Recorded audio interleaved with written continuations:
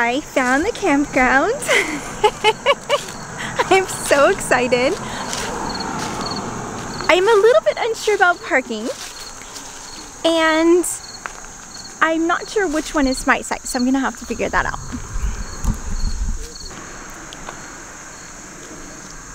Hmm. I don't see numbers. I know I'm number four, but I don't know where that is.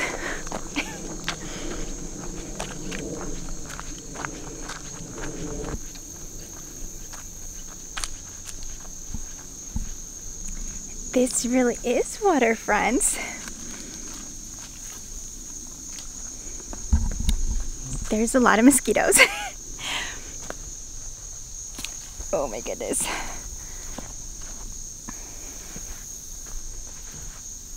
And I almost wore flip-flops, so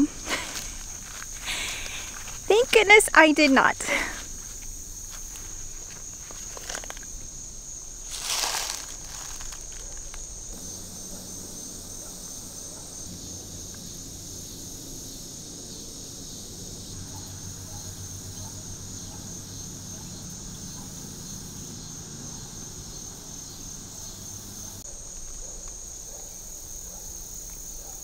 It's a lot calmer than I thought it was going to be.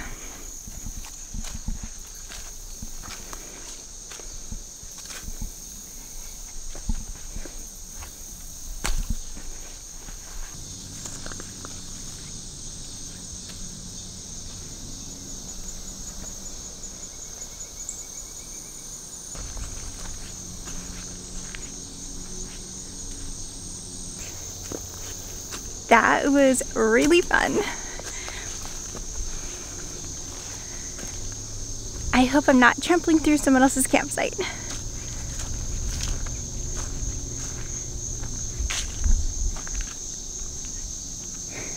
where are the numbers? I found number four.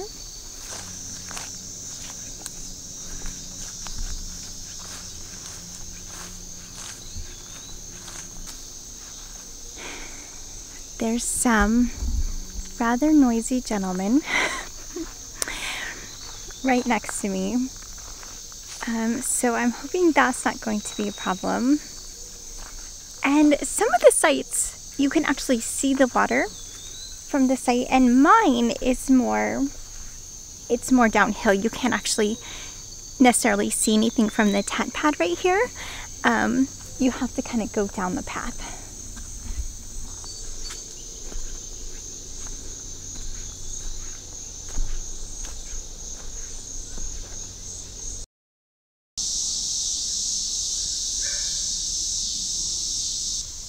Now that I have found my campsite, I just have to get all of my gear and walk it all the way down. it's quite a walk from the side of the road where I parked over to the campground. There's no um, drive up camping spot. So this could take a while.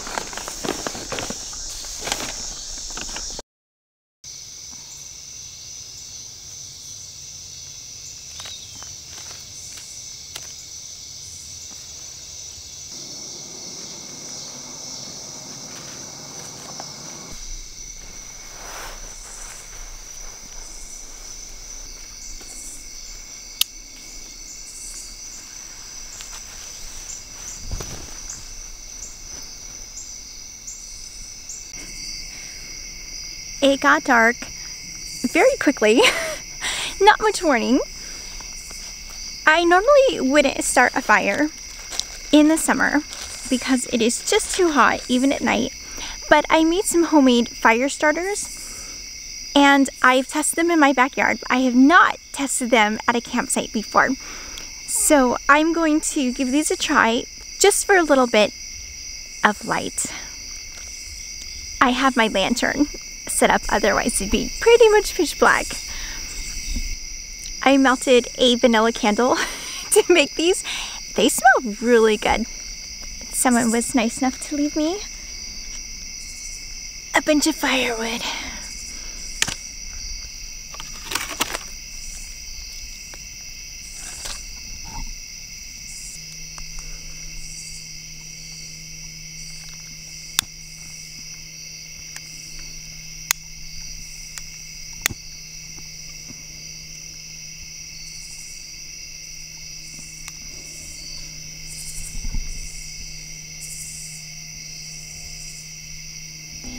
Okay, that lit pretty easy. I normally struggle to get a fire lit. Thankfully, this wood is already burnt and that makes it super easy. All right, fire, do your thing.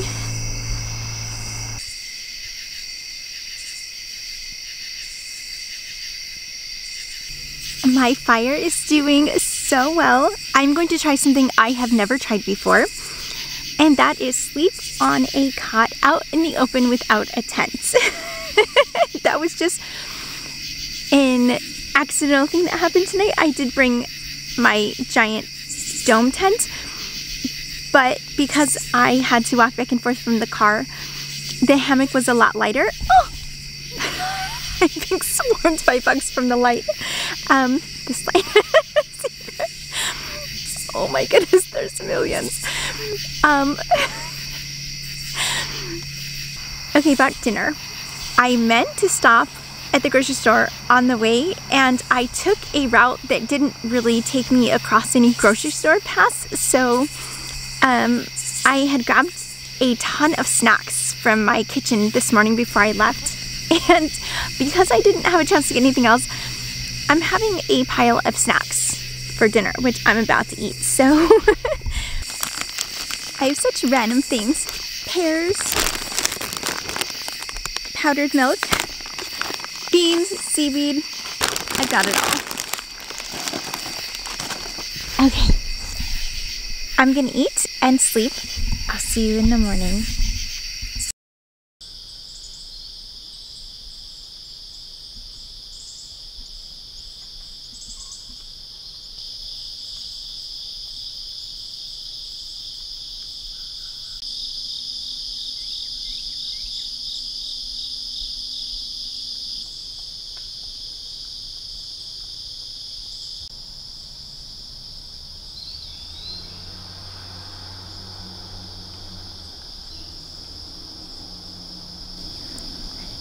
Good morning. I slept just like this right out in the open.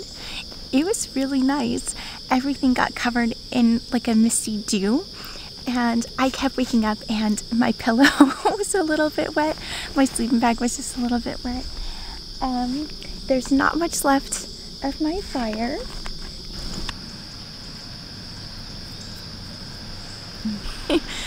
I wasn't expecting the set to be so fluffy. it's about 6.30. I've been awake for over an hour just listening to the birds. I want one last view of the Potomac River before I toss everything into my car and head back.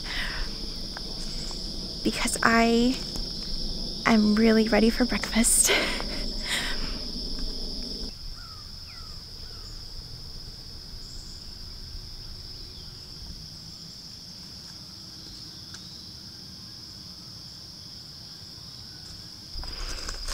Oh my gosh. oh my god. That was so gross.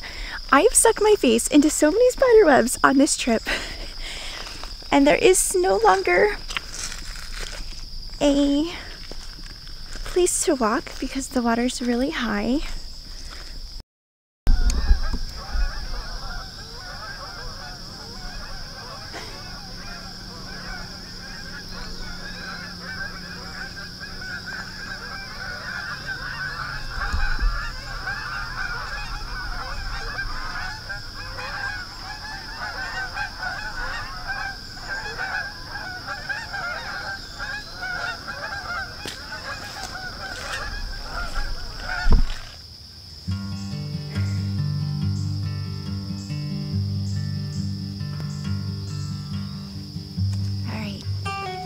Time to go.